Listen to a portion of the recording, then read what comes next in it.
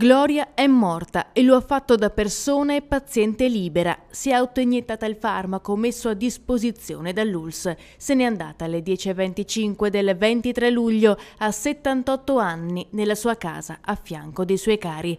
La vita è bella, ma solo se siamo liberi e io lo sono stata fino alla fine. L'ultimo messaggio di Gloria a nome di Fantasia, poche parole, le stesse che disse appena ottenuto il via libera al suicidio assistito un mese e mezzo mezzo fa, secondo caso in Italia, il primo con il supporto dell'azienda sanitaria. Eh, si sente libera e ha confermato anche che la vita è bella.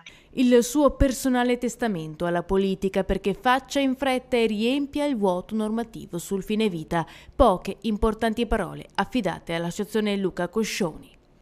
La sanità del Veneto ha evitato a Gloria una morte tra sofferenze che non avrebbe mai voluto. Veneto che è la prima regione in Italia ad aver raggiunto e depositato la soglia di firme 7.000 necessaria per poter portare la proposta di legge regionale liberi subito sul suicidio assistito in consiglio aiuterà ad avere tempi brevi e piena assistenza. Veneto che per l'associazione ora è un modello da seguire.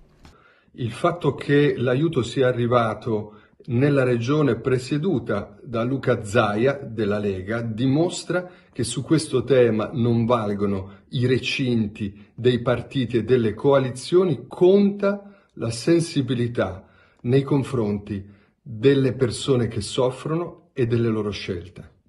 Paziente oncologica con una diagnosi che non le dava scampo, che le faceva soffrire pene indicibili. Il via libera a sei mesi dall'avvio dell'iter. Meno di due settimane fa aveva fatto appello alle istituzioni a Zaia per accelerare i tempi del rinnovo delle verifiche. Le sue condizioni di salute stavano peggiorando. Prima di lei Stefano Geller, vicentino affetto da distrofia muscolare, ha ottenuto il parere favorevole dell'azienda sanitaria numero 7 e del comitato etico. Quattro quattro casi in tutta Italia.